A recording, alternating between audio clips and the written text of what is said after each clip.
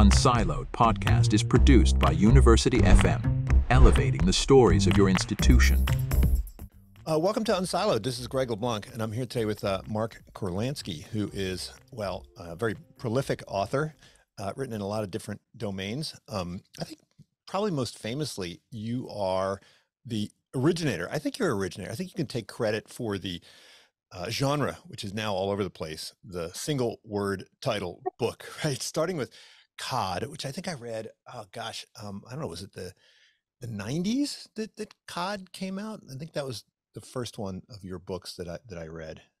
The, the single word title, I, I might have some responsibility for it, though. I have to say that often I prefer more complicated titles, and my publisher talks me into the title because it's become sort of like a trademark. Yeah. Yeah, well, so in addition to Sod, uh, Cod, I think after that I read read Salt. Um, this is not the original copy because I think I bought it and it's buried somewhere. Um, and there's a book about oysters, which was fascinating. Yeah. Uh, there's the book um, uh, about frozen food, right? Birdseye. Um, you can, I think, detect a theme here. Then there's the, the, book about the Basques, which I think was a natural outflow from the the Cod book as well. There's a book about Gloucester, right, the, the city, which is also sort of about the the fishing industry. Uh, on the food theme, right, there are a couple more recent books. One on on milk, uh, which I actually just read last week. Book on onions, which just came out. One right. of my favorite topics. um, this one is about the food in the 30s, I guess the WPA. WPA um, food, yeah. Yeah, and then it, um, it, following... it was interesting because it it it gives you a look at what food was like in America in the 1930s. And nowadays, you know, you talk about locavores and, you know, this is a time when everybody was a locavore and they wish they weren't, you know. Uh, well, in, in all these food books, I mean, tough in the winter time, you know. Well, in all these food books, you, you spend a lot of time reading cookbooks. And um, yeah. I, I think cookbooks are sort of an underutilized historical resource. Right? I agree. I, I agree, especially um, pre Fannie Farmer. Yeah. Uh, when when people used to really write recipes expressively and and recognize the fact that it's not a science and every chef is going to be a little different and um, also a secret that most people don't know is that a good chef leaves something out right well it's kind of like music right so if you go back and you look at the the written music from the Baroque period. a lot of people, when they first saw it, they thought, "Well, this is kind of boring," and that's because they, they left out all of the, the, the improvisation. Yeah, yeah. They, uh, I, I, play cello, and I have the manuscripts of Bach suites, and uh, they're pretty tough to follow, but they're yeah. tough to follow anyway. Well, I, I, do I do a lot of cooking, and um, you know, a lot of times people come over they'll say, "Oh, you got to give me the recipe for this." And I say, "I don't have a recipe. you know, I don't.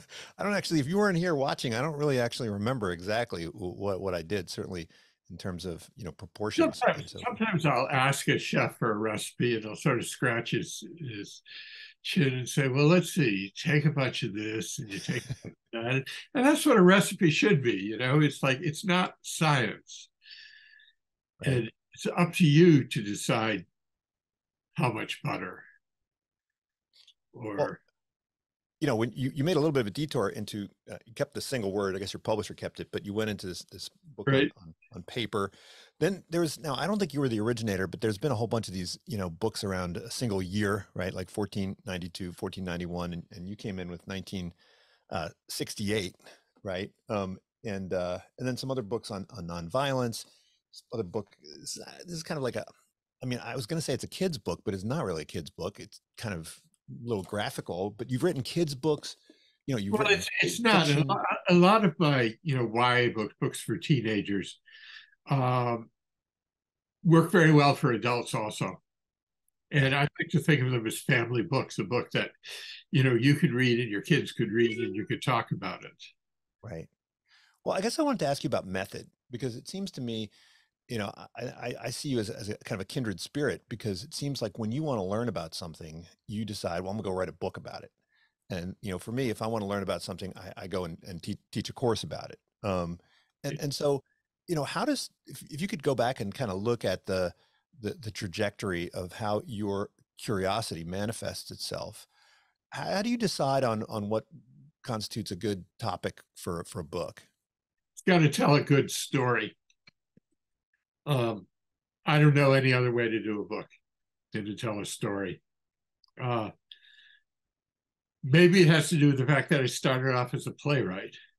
Mm-hmm. And, you know, the three act play, the beginning, the middle, and the end. Um, there's got to be a story there. I struggled with salt. Mm-hmm. Uh, after my cod book, in my cod book, I realized the importance of salt because you couldn't have a fishery if you didn't have salt. And my publisher was very interested in me doing something on salt and really pushed me to it. And I kept saying, well, but where's the story? Mm-hmm. And then I realized that the story uh, is that here was this ingredient, commodity, mineral uh, that was of tremendous value that uh, nations would go through. I mean, they founded colonies and they went to war and went to all these lengths to uh, to get the salt, and then salt lost its value. Yeah. So what was it for?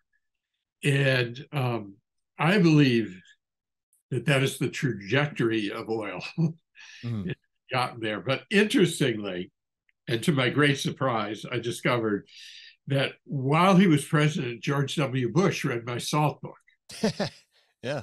And he was a book reader. I think he did read a lot of well, books. Well, yes, I, I kind of felt bad about this because, you know, there I am driving on the Massachusetts Turnpike and some White House correspondent calls me and I I have this habit of getting because I used to be a foreign correspondent and I get very friendly with foreign correspondents and I forget what they're doing, you know. And so I just very flippantly said, Really? He reads books? Yeah. And that went everywhere. That went everywhere. And it sounded kind of unfair because, in fact, it turns out he does read books. Mm-hmm. Uh, and his wife is a librarian. Uh, and maybe if I hadn't been so flippant, uh, I could have talked to him about it because I wonder what he got out of it because he has an oil background. Yeah. Well, you know, I was interested in salt because I, used to study French history, and uh, the French kings, right. of course, had the salt tax, the, the gabelle, which was, you know, pretty major source of of revenue. And I remember when I learned about that, I a thought major a major source of political unrest too. Yeah, and I thought, well, how you know what the heck, right? Um, but the kind of the demand elasticity for salt is is you know is very high, right? If you don't have salt, you die. And, you know uh, that the New York Public Library, one of the world's great institutions, has an original copy of the Assemblée Nationale's edict uh, canceling the gabelle. Yeah. Well, I mean, it makes me wonder. You mentioned book reading. Look, you've probably written more books than the average American has has read in, in, in their lifetime. Well, that's um, disturbing, but it may be true. right?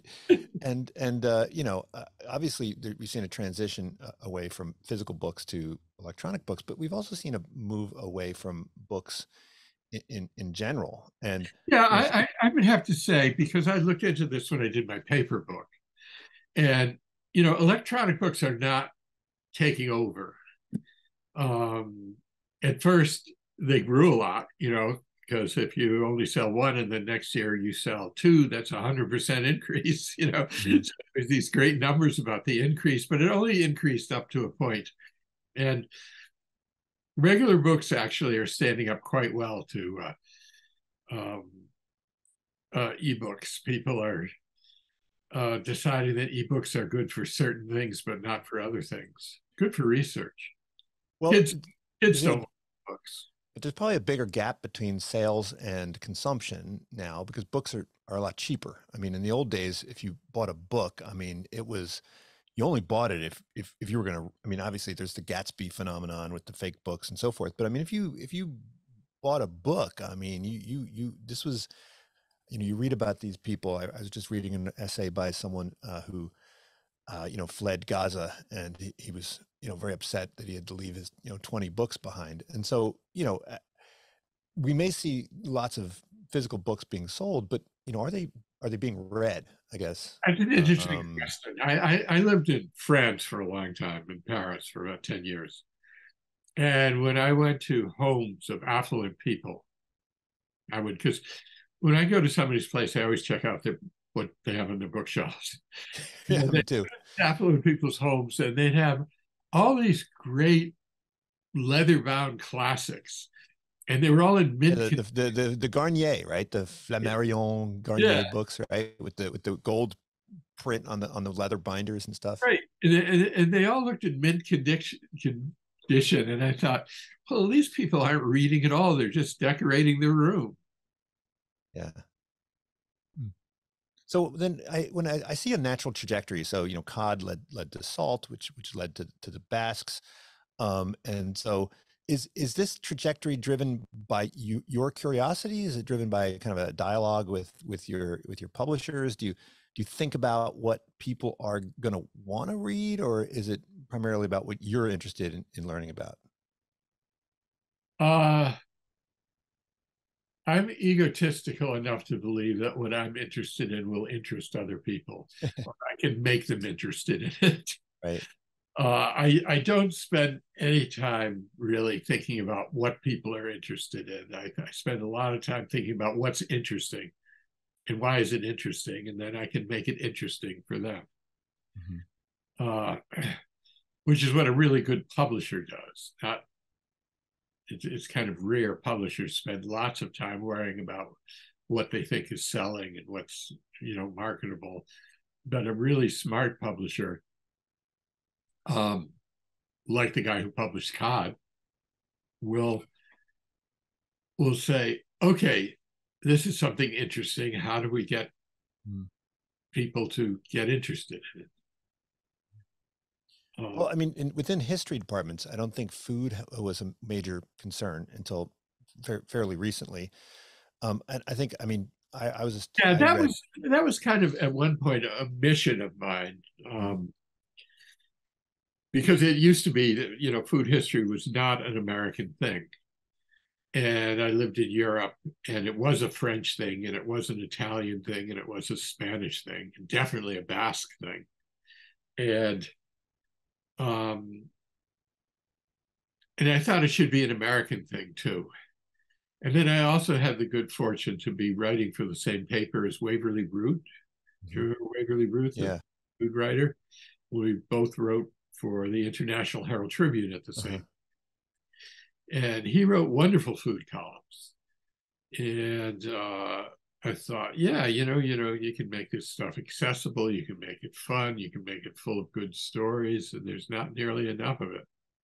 Now there is really enough of it. yeah. I mean, I remember when I when I read Fernand Braudel the first time, right in, in college, and he seemed to emphasize the importance of everyday life and the and the the the, the material elements of, of everyday life. And and so I think within Well, the academy, he might have been the one responsible for for bringing it. But I remember Jacques Pepin in his I remember his memoir. He described how when he came to America, he wanted to study food, and he went up to Columbia and said, "Hey, I want to study food." And they, they looked at him like he was a, he was a nut, right? But then he was later in life able to help establish a, uh, some center for the study of food at at, at, Columbia. Right. Yeah. Um, that's actually come a long way in America. I mean, it, uh, what am I going back to? You know, even like the 1980s, there wasn't much in America about food.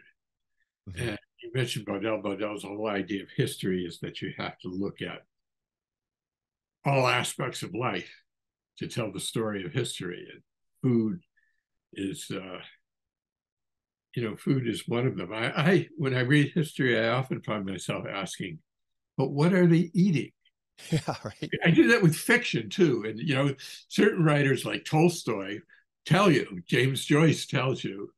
Um, I, I'm a great believer in food fiction. I just signed a contract for a book, another one word title, a novel called Cheesecake. this is a novel that takes place entirely on my block in New York. It takes place on 86th Street between Amsterdam and Columbus Avenue and it's about a uh, a cheesecake uh, trend, which starts because a a little Greek diner decides to go upscale and and and make Cato's cheesecake. And about 200 BC, the Roman Senator Cato wrote a recipe for cheesecake, which was, you know, the, the, the oldest written recipe. And it was written in Latin, one of the first things written in Latin, because they used to write in Greek. And it's completely incomprehensible. So all these people in the neighborhood are trying to do it, but they don't understand that they're all coming out with completely different things and who has it right and who has the best cheesecake. That's that's my new novel.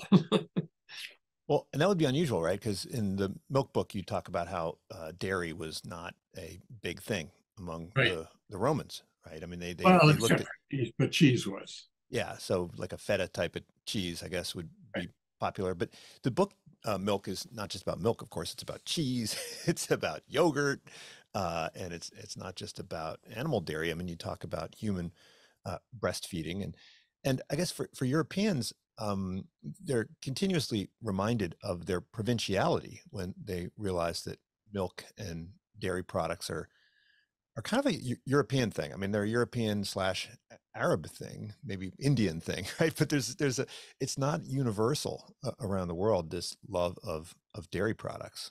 And I just spent a week with uh, Well, some- there- some- well, you know, uh, Asia used to have almost no dairy, but now they're starting to, you know, it's a it's starting to westernize. So they're having, you know, Japan has dairy now and China has dairy. And they used to believe that they were lactose intolerant, but actually it turns out they're not, Hmm. or most aren't. But lactose intolerance is a really interesting thing because Right. actually we're supposed to be lactose intolerant. That's the way we're made. We're, Mhm. we're made so that we get milk for nourishment till we're about two years old. And then this enzyme comes in that makes us no longer tolerate milk because we're not supposed to be breastfeeding anymore. And that's supposed to be the end of it. And somehow this mutant thing came about where the enzyme didn't step in and people kept having milk, not breastfeeding, but, you know, started substituting with animal milk, which must have been a really weird idea when somebody first thought of it. Mhm. You know, forget mom, how about that goat over there? you know? Um, and um, so originally, most people were lactose. Originally, everybody was lactose intolerant, then everybody but a few people. And now um, it's getting, I think the majority of people are still lactose intolerant, but it's getting to be about 50 50. And it's going in a trend where it's going to be more and more, more and more people can have uh, milk. Yeah, I mean, it'd be interesting to see if if, if the evolu- if you know ev- we can watch evolution in, in real time. But but you also allude to maybe this idea that we will have cosmetic manipulation of our tolerances. You know, we can if we want our children to consume milk, we can maybe go in there and s- snip a few things and say, hey, you know, look at the joy that I'll create for my kids if I can Yeah, figure out a way to. yeah. But then what other things are we going to manipulate? This gets really scary. Right. Well, look, I'm I'm I'm Irish. I'm like 100% Irish, so I, I can eat dairy all day and and, and, all night. Um, but it, you know, it's become think that is a that that is a genetic thing. Why certain cultures just lost that uh, lactose intolerance. Uh, Irish are a good example. Very rare to have a lactose intolerant Irishman. It would be like an Irish teetotaler, for God's sakes. right. Yeah. Well, I, I, I can I can uh, I, I I can also drink plenty of uh, alcohol. What I haven't done is I, I haven't really gained an appreciation for for mixing the two. Although you you offer up some some insights on, on that trend, right? With When I um, was a, when I, when I was a newspaper journalist, I used to work with this Irish guy who had severe ulcers, and so he wasn't supposed to drink, and so he used to drink whiskey and milk. Mhm, I mean, the milk made it all right. mhm. yeah. And- and- And once we were we were covering a Mexican election, and in Mexico, a lot of Latin American elections, they closed the bars on election days. But if you know somebody in the ruling party, you can get a drink. So we knew somebody in the ruling party, and we went to the their bar. And the guy walks up to the bar and says, "Can I have a whiskey with milk?" And he says, "You can't have milk." He says, "Why? Because it's election day." well, have you have you thought of writing a book on uh, on beer? Say, I mean, that beer is one of our oldest uh, food substances. Yeah, I I don't know. I haven't. Uh, I I think it's been done. Yeah, Um, although, you know, you could write a whole book just on stout. right. You know, a particular type of, of of beer. But you also talk about kind of human milk consumption and how that has been a contentious thing over time. And we've seen in our own lifetime. Going through cycles. Yeah. I mean, I was of that generation which was, um, you know, bottle fed, right? And and it was and it, it was strange because I th- I think a lot of that was was political or or technological. There was a lot of advertising, and and I think this ties in with the the processed food thing. So I think my my mom thought that to be modern was to, you know, buy frozen food and packaged food, and so she didn't cook. And I grew up in a household where oh she cooked, but she'd you know make tuna helper and stuff, and and I think that that was seen as the the height of sophistication, right? Like you don't have to actually cook, right? You're part of the modern world, and and I remember reading these my very first cookbook, uh, which which I got, and I was reading through the recipe, and I realized that every single you know recipe had Campbell soup in it, and I was like, this is really weird. And then I realized that the book was actually published by the- Campbell's company, right? Right. And when you when you looked in all those red books and and Home and Garden, all those magazines, and they had recipes. I, I didn't realize it, but they were all like sponsored recipes. It was like soap Yeah. operas, you know, and and so they were pushing Great books fried onions. Remember Durkee's fried onions? They would be pushing this stuff in in the, in great the, in books the published by the Jello Company. yeah, right. Whole books on what to do with Jello. Yeah. And and I think part of that movement was to convince moms that they should be, you know, buying formula for, for their kids if they really wanted to be modern, because science had come somehow, you know, surpassed nature and and uh you know, figured out a way to do it better than nature without the, formula hassle. formula was better than they, could devise a formula that was better milk than than than mother's milk. Uh-huh. And you know, we we now limit, I mean, just like we limit our meat to chicken and, and beef for the most part, we seem to limit our, our milk consumption to cow milk. I mean, here in Berkeley, of course, you can get goat milk and sheep milk and so forth. But At Berkeley, they probably limit their consumption to goat milk. well, you can actually you mentioned human milk. I mean, there are these places where you can buy human milk and and uh, you mentioned that some adults actually will consume human milk. That seems a little a, a little bizarre, but Well, it's guess it- flipped around because they're thinking of it as a really natural thing to do, but it's actually a really unnatural thing to do. Right. And you mentioned, I guess, some um, professor at Oxford that survived on on on human breast milk for a couple of years. Oh yeah, yeah. Um, and you know, there were all these beliefs that the the kind of milk you consumed determined your character. Mhm. So if you had a lot of goat milk, you'd be sure-footed. Mhm. I tried that; it didn't work. um, yeah. you know, all these things. Uh, uh, they used to. I mean, there was a time when women, upper class women, didn't want to breastfeed, but they believed in breastfeeding, so they hired Milkmaids. nursemaids to to Yeah. Nursemaids. to uh, breastfeed their children. And then it was believed that the children's character would be affected by the character of the, the woman who's nursing them. So they were very careful to select, you know, if you had somebody who was bad tempered and breastfed your kid, you'd have a Mm. bad tempered kid. Uh, and then there was this whole thing about uh, do you want your kid to be breastfed by blondes or brunettes? Not redheads. Don't have your child breastfed by a redhead. I mean, there's all this stuff people were very serious about. Well, that didn't stop them from hiring slaves, right? As uh, Interestingly, yes. Isn't that interesting? Uh, these people who at the same time, you know, thought that the, the, the, the person who nurses your child affects the character of it, at the same time believed that black people were, were Mhm. worthless, but had black people breastfeed their kids. it's it's kind of uh, it's a bit of a mystery why that industry doesn't exist anymore. Um, because parents now But- outsource everything else, right? Breastfeed- So why don't they? for saying breastfeeding or slavery. No, no, I mean, right, uh, right. The, the idea of a nursemaid, right? Is this why? Why is this industry completely disappeared? It it, it seems seems like um, a great solution to uh, a problem of of. Is it just because formula is so easily available that the labor costs would be too high? And and I think these were uh, these were a, a certain class of women who didn't have any other possibility, and uh, uh, it really was kind of a product of a social injustice. Everything's a product of social injustice if you dig deep enough, you know. Mm-hmm. Yeah, and, and you mentioned also that um, donkey milk was considered the best milk. Now, even here in Berkeley, I can't find donkey milk anywhere. Have, have you have you tried this? Have I tried donkey milk? You know,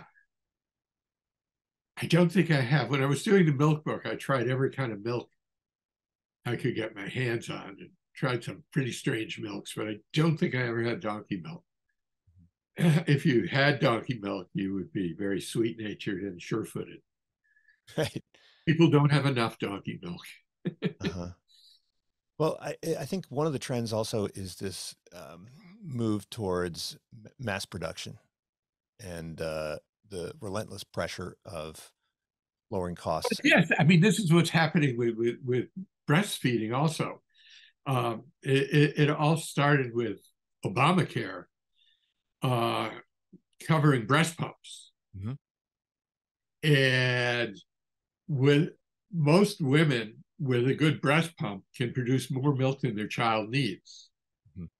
So then you have milk to to sell.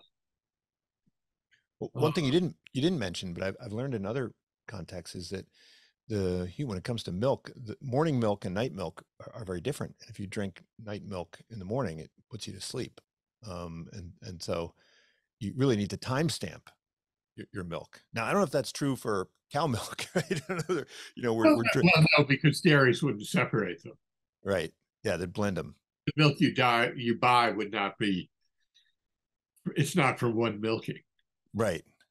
Yeah, but for humans, it, it, it is coming from a specific. But the reason why I mentioned this this pressure to economize is that we've seen this homogenization of of wheat and of rice and all sorts of other things, but we've seen it in milk as well. So almost all cow milk that we buy comes from these Holsteins, and, and I, have I, I, really like this Jersey cow milk, um, but it's getting increasingly difficult to, yes. to find. Right? Yeah, richer, richer milk. Yeah, there's, there's a there's a dairy here in the Bay Area that just went bankrupt, and they couldn't. And I couldn't understand why they went bankrupt because there are people that would just pay anything, right? Seven, eight, nine, ten, twelve dollars for a container of milk, but they just simply couldn't couldn't make it work economically. Because and they were using jerseys. Yeah. Yeah, because they weren't productive enough. Right. That's why they use Holsteins because Holsteins really crank it out. Um, but uh, I don't know if you've noticed this, but if you go back to old recipes, even like 19th century recipes, sometimes you'll have a recipe that calls for milk and you will get a better result if you substitute light cream mm. because milk used to be richer. Mm-hmm. And the milk they're talking about isn't the milk that we get. Right.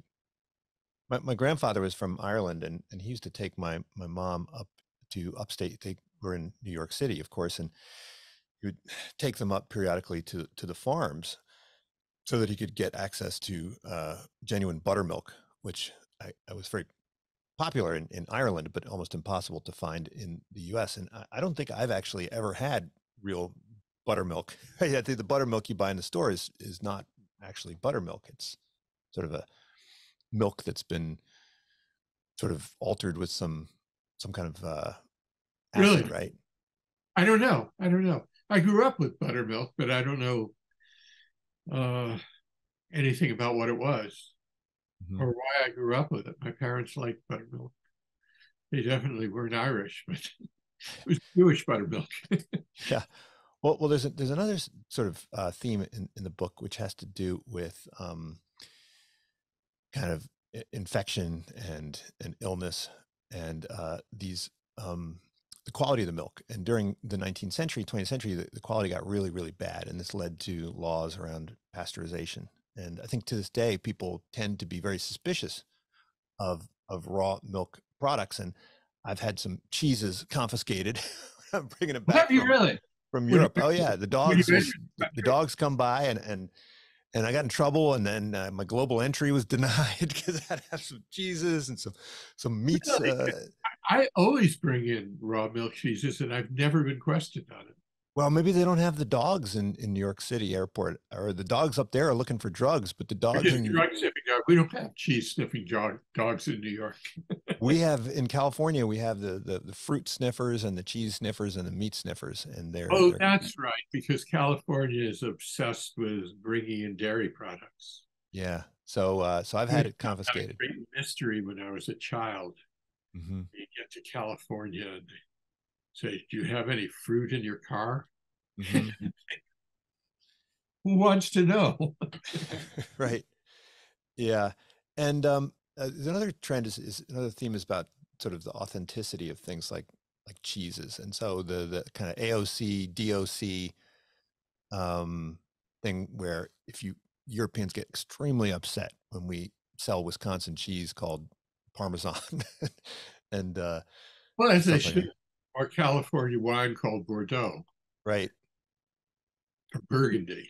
yeah, Gallo Hearty Burgundy, right right which you know i mean burgundy real burgundy is just the greatest wine in the world.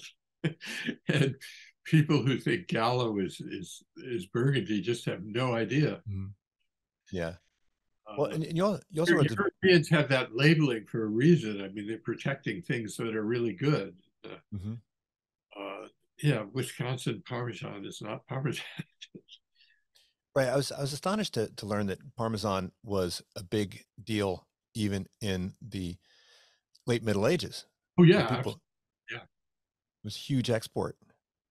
Yes, yes. Well, of course, you know, one of the whole ideas behind behind making cheese was that it was a dairy product that you could export. Mhm. It's salt again. Yeah. Only with salt. And you, you have to think about before the Industrial Revolution, if you wanted to have an international economy, what did you trade? Mostly food. And you couldn't trade food unless it was salted. So basically, if you didn't have salt, you didn't have an international economy. Mhm. And as far as dairy farmers go, your possibility for trade was to make cheese. Well, isn't it interesting that all these things that we eat, like whatever prosciutto or, or, or Parmesan or even beer and wine, these things were invented for preservation reasons, and and so that that reason's gone, and yet we still consume all this stuff, right? yeah, and and you know, I mean, Basques still make exquisite dishes out of salted cod.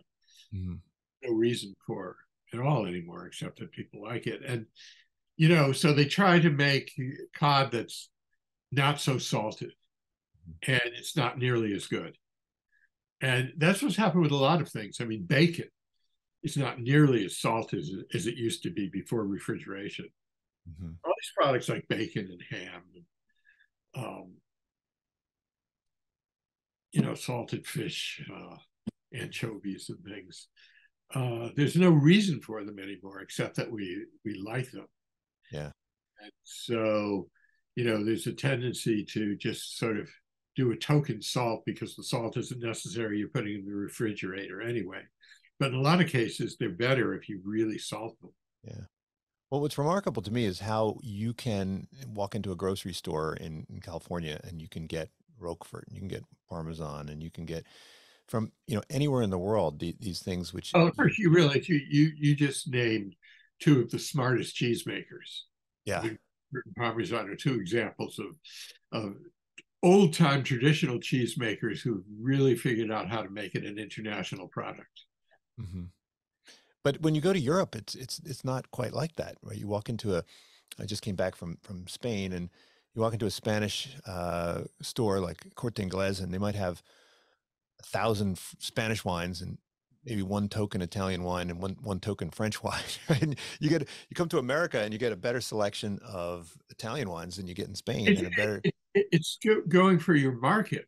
You Yeah. know, I mean, French people don't want to drink foreign wines. They want to drink French wines, and Spanish want to drink Spanish wines, and and for that matter, you know, a Catalan doesn't want to drink Basque wine. And, Right. uh, you know, uh, uh, somebody from uh, uh, Tuscany doesn't want to drink a wine from uh, uh, the north. And uh, um, an interesting thing I noticed in France is that so many of the people in Paris um, have roots in other parts of France, and they generally drink the wine from the region that their family came from, even though you know they may have left three generations ago. Mm. So Europeans kind of have loyalty to these these products, and uh, uh, you're not going to do very well with uh, Italian wine in France, or uh, although you know you can do okay selling California wine in France because it's a thing. Yeah. But still, very very small thing. Yeah, but it's kind of a hip thing to have a California wine. Uh-huh.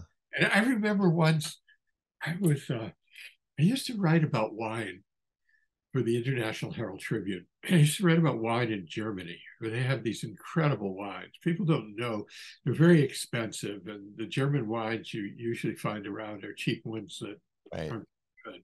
But really good German wines are incredible. Um, but they tend to be white. Rieslings.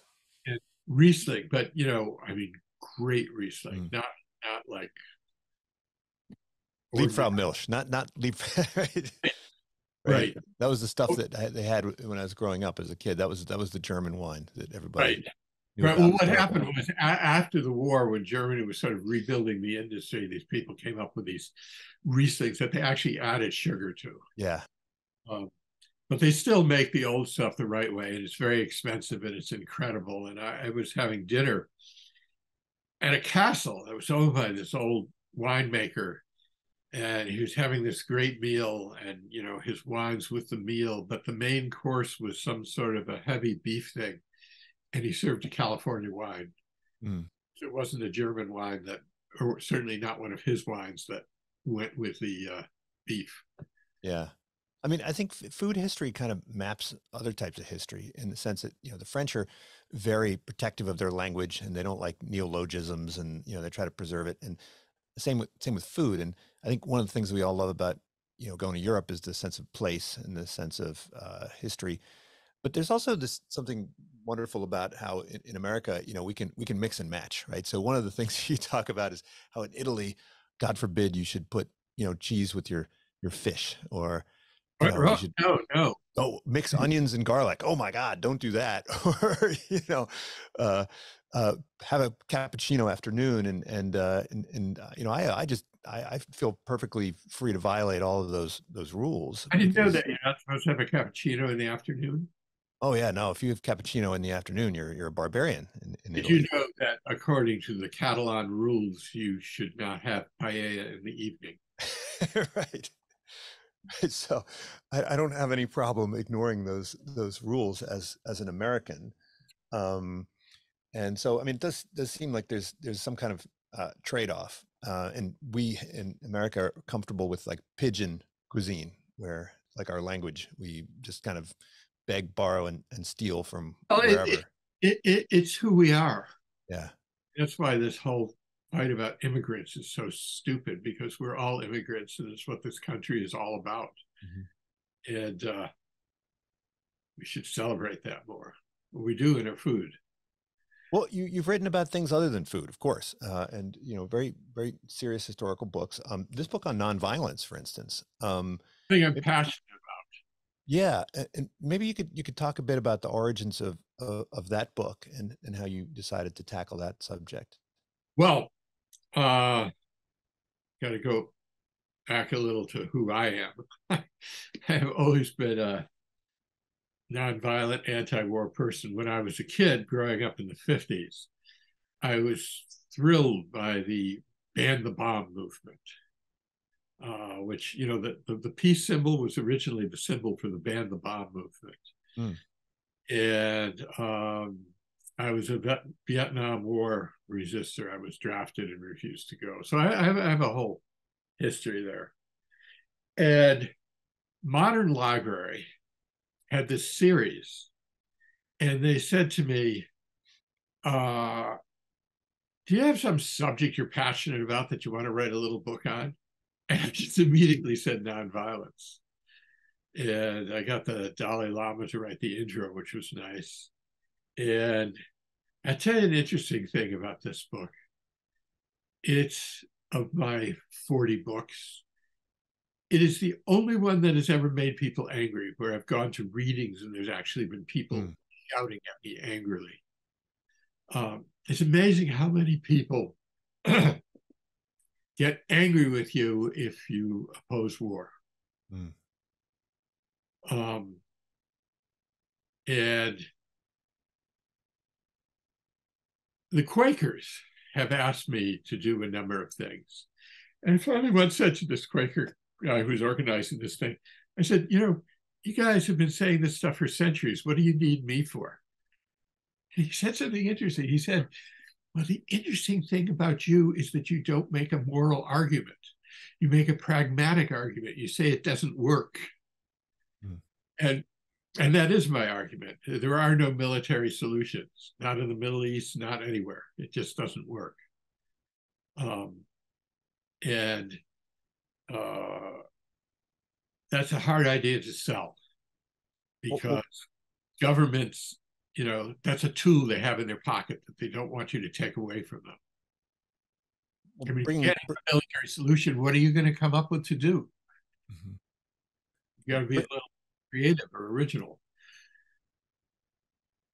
Bringing the strands together, uh, there's some interesting studies that show that when um, people eat together, their negotiations turn out to be much more more fruitful, right? And it's uh, yes.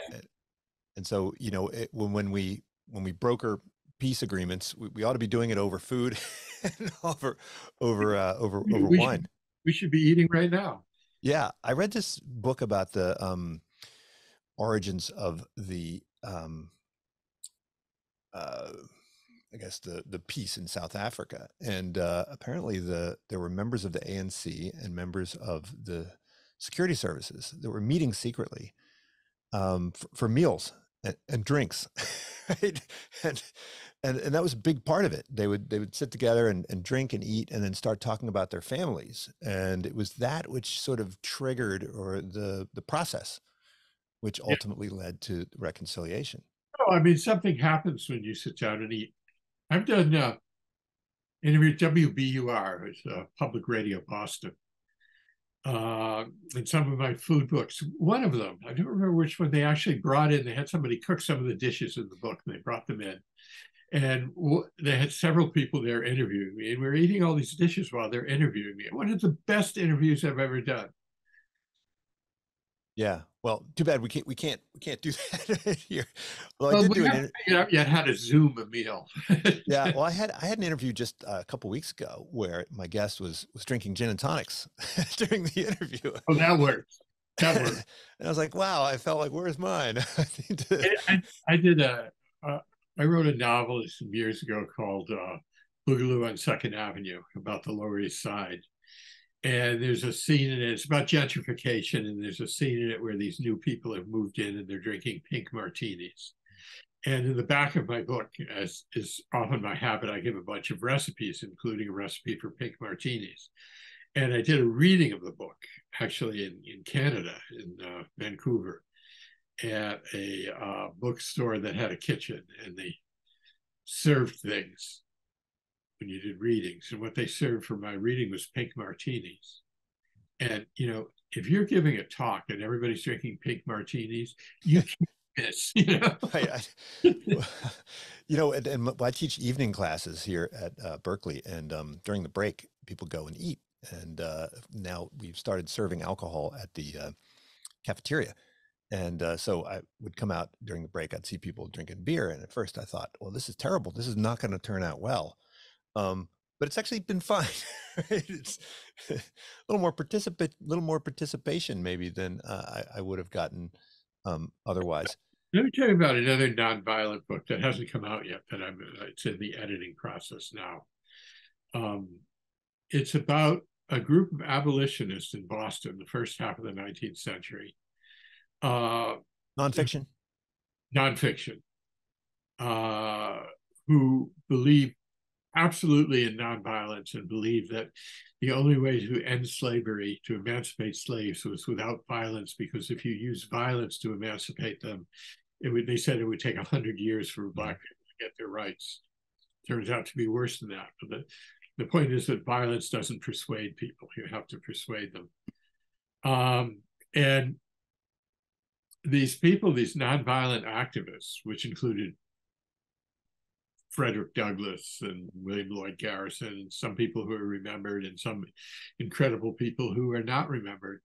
And what were they doing? They were doing uh, they were doing boycotts, and they were doing freedom rides on Boston commuter rails, and they were they, they sang freedom songs, and, and they were um, they were laying out the entire program of the 20th century civil rights movement.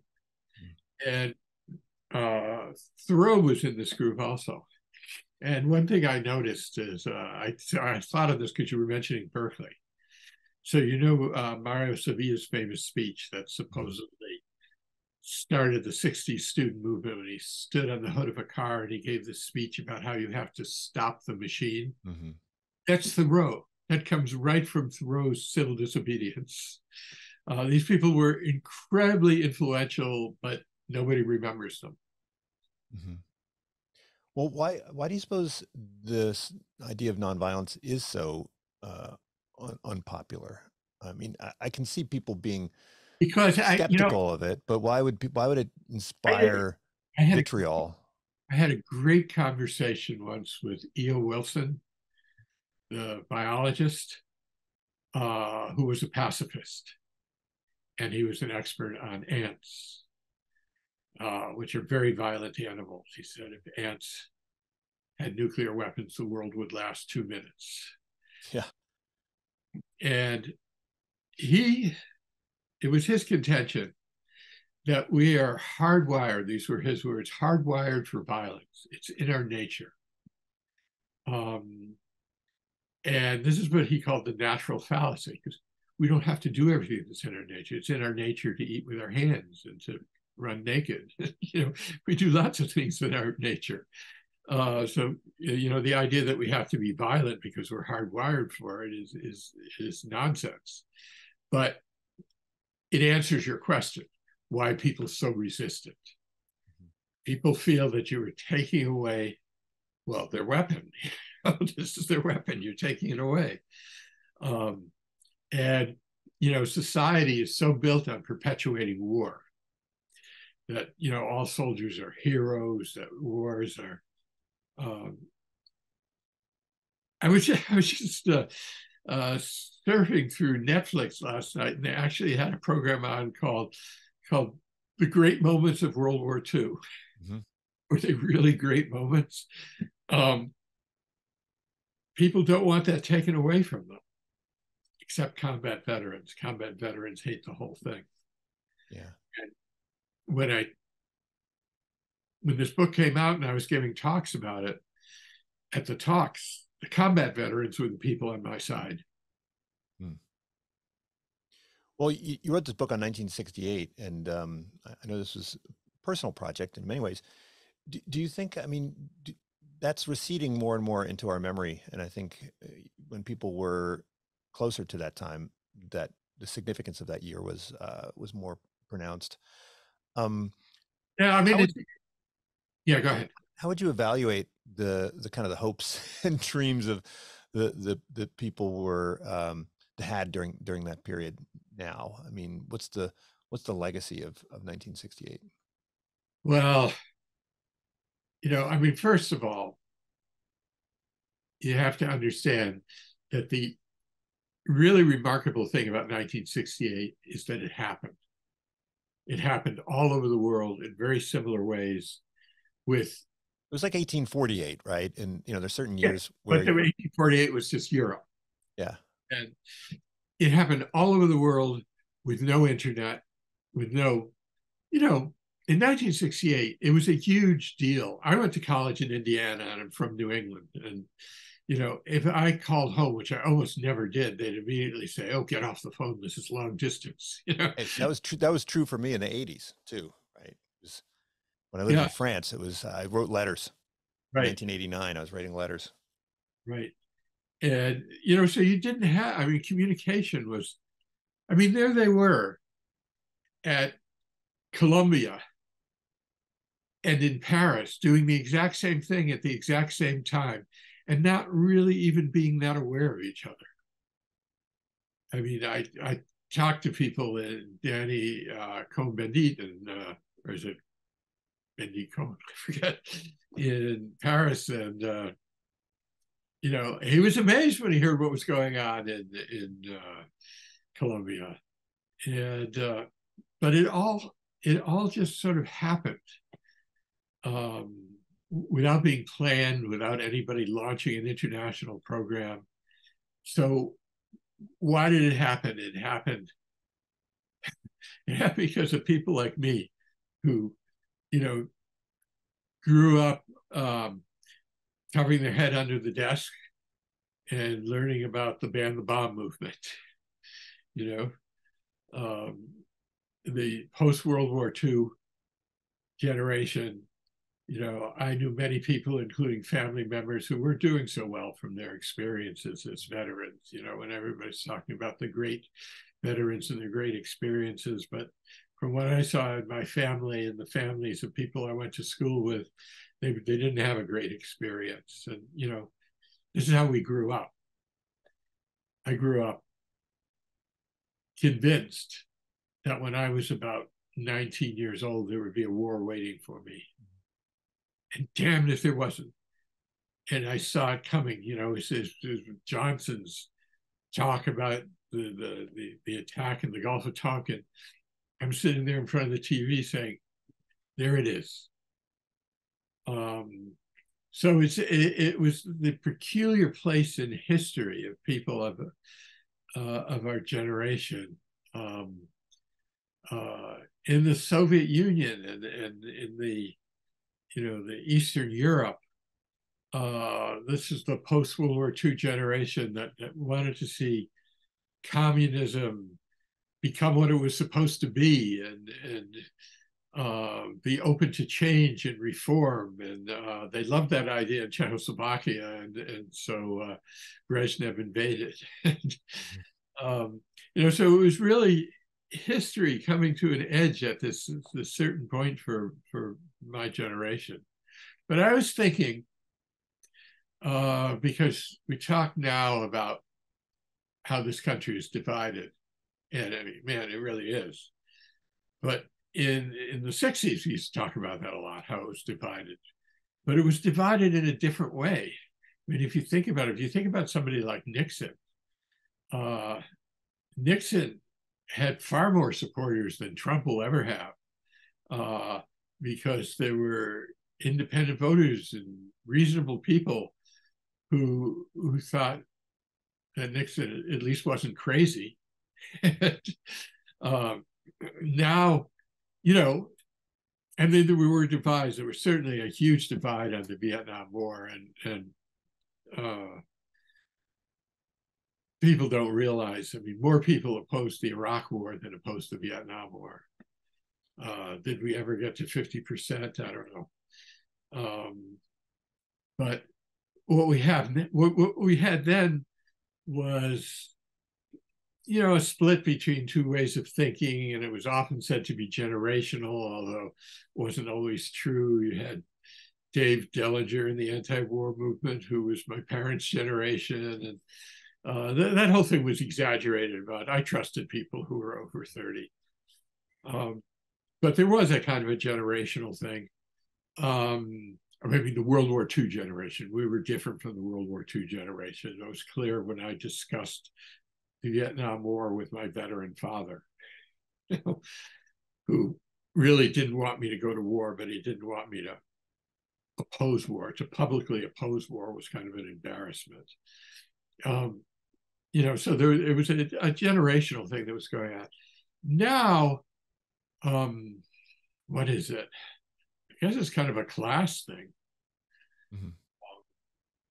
Yeah, my, my father was uh, in World War II, and I mean he didn't fight, but he was uh, in the Navy. And I remember during the first Iraq War, I, I decided to play a joke on him, and, and I told him that I'd enlisted, and uh, and and he, he went berserk. he said, you, you know, he, he was like, "You did what?" Like, he was extremely upset, and I had to, you know, admit that I, I had actually I was lying and I had not uh, actually enlisted, but um, you know, and he was as patriotic as, as anybody else. But he, he my, father did. My my father didn't want me to go to Vietnam, but he wanted me to find a good way to get out of it. And I said, mm-hmm. Dad, I have a good way to get out of it. I'm telling them, no, I'm not going to do it. no, no, don't do that. Mm-hmm. Well, you know, in this book, Big Lies, you, you go through kind of a history of um, of deception and, and lies, and I think a lot of people today think that um, we live in a era that is um, the pinnacle of uh, fake news and so forth. I mean, obviously that's that's not true. Um, that's one of the reasons I did that book. Is yeah. to show, you know, lying is a long thing, and even even the lies that are going around now have been going around for a long time. I mean, God, they're still doing the protocols of the elders of Zion from mm-hmm. from the Czar.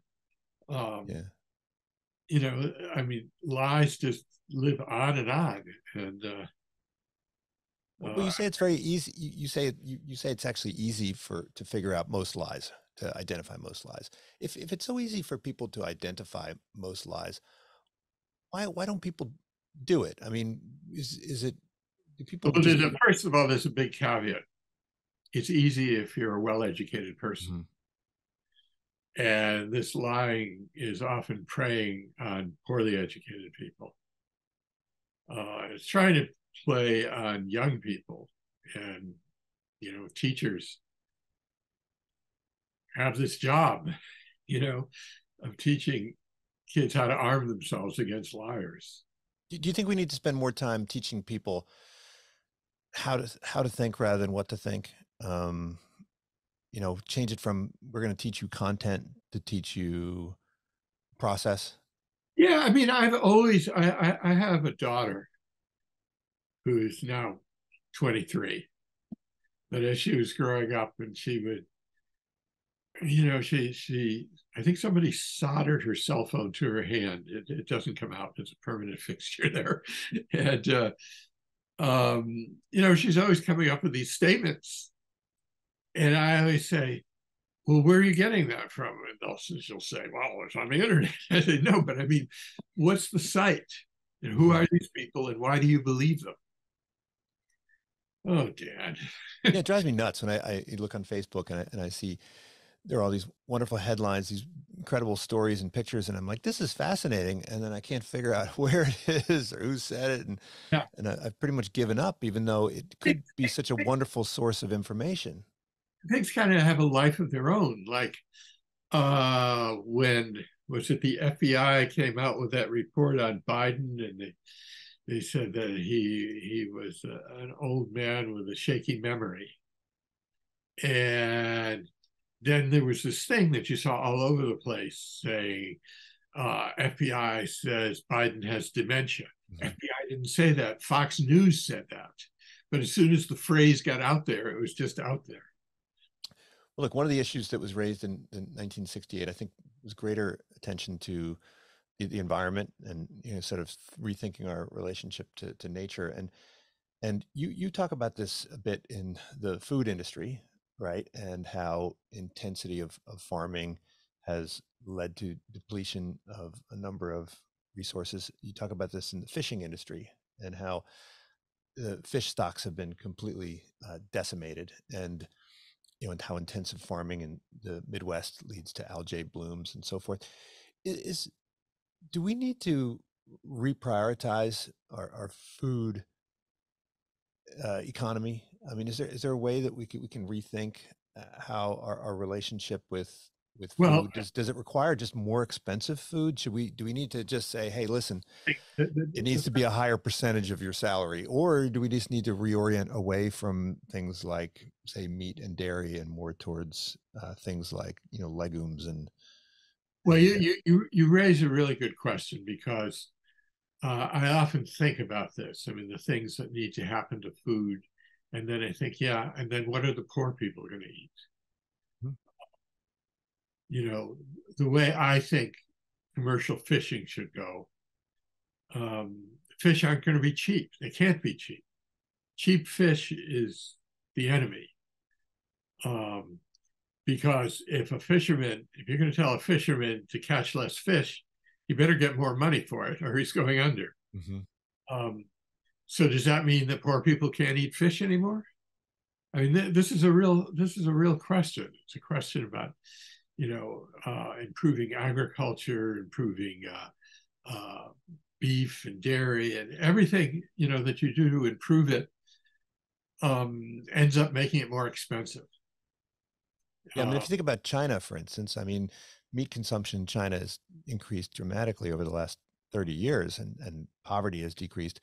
But then you see these pictures of these 25 story, you know, pig skyscrapers and, and you think, oh my gosh, like these, these poor pigs. I mean, it's just, it's just awful, right? The way they, they have to survive in these for very short periods of time. I, I, I don't have an answer for this. I've thought about it a lot. And all I can say is that you got to think about it a lot when we're thinking about what's the right way to fish and the right way to farm and all of this, we have to keep asking, what are poor people going to be eating? Mm-hmm. Uh, or how do we make food available to poor people? How do we make good food available to poor people? Because the way it is now, uh, I mean, I eat pretty well. You probably eat pretty well. Uh, poor people eat horribly. I mean, well, I also spend I spend an awful lot of food, a lot of money on food. Right? Yeah, absolutely. Yeah. absolutely. I mean, it, it's really striking. I, where I live, I have the grocery store around the corner, and then I have the the famous place down the street, mm-hmm. And it's roughly three times ex- as expensive in the famous place. I love the famous place. The food is much better. Um, but a lot of people can't afford. Well, in my neighborhood, they can actually, but uh, but you also don't have to eat a 24 ounce, you know, tomahawk steak for dinner. You know, you can probably have two, three ounces of that. that that's going to be good enough. Yeah. Well, you know, it's you know, people talk about you know high intakes of salt and sugar, and why do they have a high intake of salt and sugar? Because they're eating this these bags of garbage. But you know, they're cheap and they fill you up. Um, it's it's it's really it's kind of a conspiracy. Not that anybody sat around and said, "Oh well, let's get the poor people." They said, you know, what is the market for poor people? How, how can we create really cheap, easy food that poor people will buy? And the answer is do bad things. Well, they could eat more onions and more potatoes.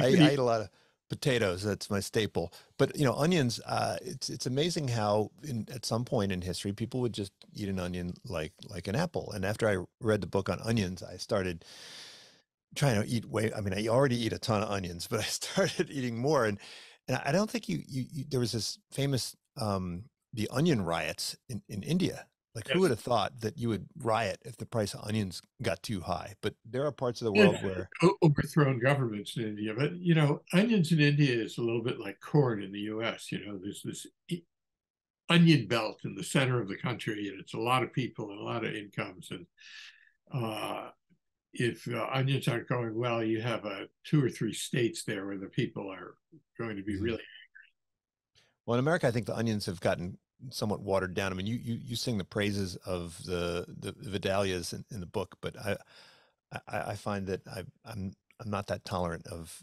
these sweeter onions, like the ones that that that uh, that make you cry. You know, when you when you cut them up. Uh yeah, it, it's kind of for cooking. Mm-hmm. Yeah. Uh, I mean, I, I, sweet onions caramelized better. Uh-huh. Uh, if you make caramelized onions, my daughter is in love with caramelized onions. I put caramelized onions on everything. to do caramelized onions right is a lot of work. You have to keep stirring under a low heat for a lot of time. Um, and you can save yourself 20 minutes by using sweet onions. There's one, one fun fact you didn't mention in, in, the onion book, which is onions are the only commodity in the United States that the are prohibited by law from having a futures market. Really, I didn't um, know. Yeah, there was some big somebody tried to corner the onions market, and so the, the Congress actually wrote a law saying you can't have a future market in, in onions, which is totally bizarre. Written by politicians from either Texas or California. right. Well, I guess one one question, one last question I would have for you is: Do you find that your experience of daily events like cooking and eating are affected by your your knowledge of of the history? I mean, I, I know my sister has like 20 different types of salt and she has the the Maldon salt and she has the the Camargue salt and the, and the uh, Flor de Sel from uh, from Portugal and the Spanish salt and so forth and the Himalayan salt and you know get the the diamond salt and the Morton salt. Well, and, well I do too because I collected them all when I was doing the book. Never run out of them. right and and so you know I think you can sort of taste the differences. So, you know, blind tasting, you can sort of tell differences just in terms of the texture. Well, the interesting thing about salt is it's not so much the taste. Uh, if it's pure salt, is white. Yeah, it's a, it's the contaminants it has, and the, and the... impurity. Uh, but one of the big differences is you get crystals of different sizes mm-hmm. and shapes, so they melt differently, and that makes a big difference in cooking. But I think also, like, if you know, I mean, this is true with wine too. Like, if you know where the wine is from and you know the history, and, you know, when you're sitting down to eat meat, if you know that the, the pig was, I don't think I could taste whether the pig was treated well or not. But if I know that the pig was treated well and I know the, the name of the farmer, and I have another friend who, raised pigs and his farm just went under, you know, very, very, you know, humane pork farm in California just went under because they couldn't afford the, the feed I mean, if you if that knowledge of of the history of the origin of of the the ingredients, it, it has a subjective effect on your on your experience. Maybe psychological. I don't know. I, I have a friend who is a uh, sheep farmer in Idaho, and whenever I'm there, he makes me a dinner with his own lamb, and it is the best lamb in the world. I don't know if it's really the best lamb in the world, but it seems to me it is. I mean, yeah. it's about, you know, this is my my friend raised this lamb and killed this lamb, and uh, well, I asked yeah. an artist. I asked an art historian recently. I said, well, you know, does your ability to, does your knowledge of art enhance or detract from your aesthetic enjoyment of the art?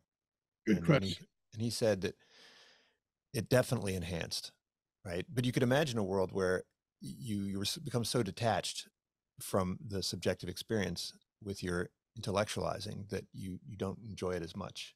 Do, do you, has your how would you evaluate your? Jackson Pollock once said, "Nobody looks at a flower bed and says, what is the meaning of this?'" Because huh. he was saying, you know, you don't think about it; you just look at it. Um, I'm not sure I agree because, um, I mean, it's interesting to know why Jackson Pollock was doing what he was doing. Mm-hmm. Yeah. Well, Mark, I hope look forward to the next book. I know there's going to be one coming out awfully quickly. Uh, is the nonviolence book the the next book that you have scheduled for release? I believe it is. Yeah, yeah. It's by Godine, which is a Boston publisher, a very nice publisher, and uh, and then I have a book. Uh, I also have a book I'm working on on lobsters. Oh, okay. I have a whole personal history with lobsters because I grew up in New England and I worked on lobster boats as a teenager. And, uh, you know, when you work with lobsters, lobsters are a very strange, barbaric animal. And, uh, um, well, I remember that uh, in, in early New England, there was, a, I think in the, the Massachusetts Bay Colony, there was a law that prohibited you from feeding your indentured servants lobster more than one twice a day, right? That's how cheap they were. Someday I'm going to write a book on the great myths food, and that's one of them. Uh-huh. Oh, okay. I thought that was true. Never been no? find a record of that law.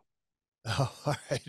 But I guess the- the message like, is, it was- it's like Mark. It's, uh, it's it's like Marco Polo introducing pasta to Italy, uh-huh. or uh, uh, Catherine bringing artichokes to France. So you know, there's there's so many of these food myths, and uh, um, it's great that they're starting that. You know, the Academy is starting to have serious food historians go to. Uh, you know, some food historians looked into this one about the lobster, and nobody could find any record of any such law. Well, you just disillusioned me. I guess I can't include that in my class anymore.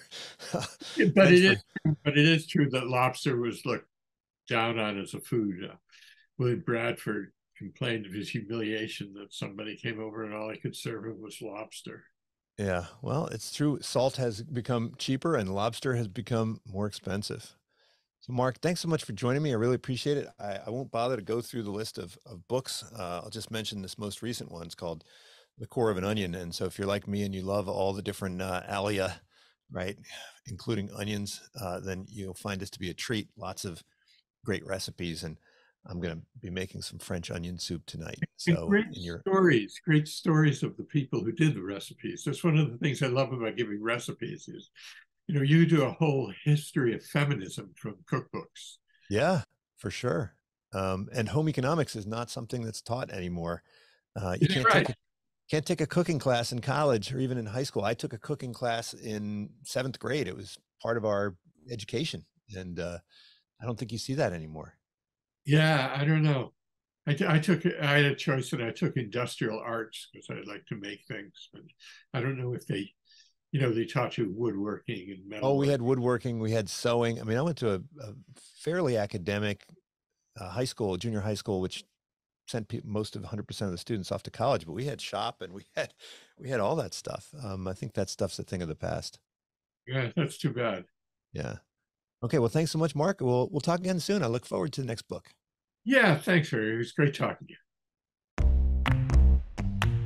Unsiloed podcast is produced by University FM, elevating the stories of your institution.